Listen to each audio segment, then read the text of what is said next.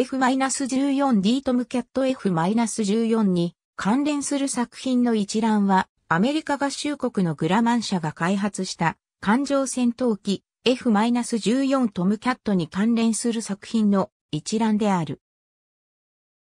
ファイナルカウントダウンにて冷戦を追撃する F-14A 人気のある航空機であるため、1970年代の出せば、売れる時代に発売されたエアフィックスの1、72や多くのコピーキットの源流とされる大多機と LS の1、144、後の怪物的な進化の発端となったタミヤの1、32、1980年代末には当時の金型技術で正確な再現に挑んだがゆえに、比喩的な表現が行われた一方で作りやすかった富士見模型の1、72や長谷川の組み立て難度が比較的高い一方で造形面で優れた1、48と1、72、戦闘機や攻撃機では子供向けなどと、揶揄されていた1、144スケールの地位を向上させたドラゴン2000年代初めに模型としての部品の簡略化と実機再現の両立に挑んだ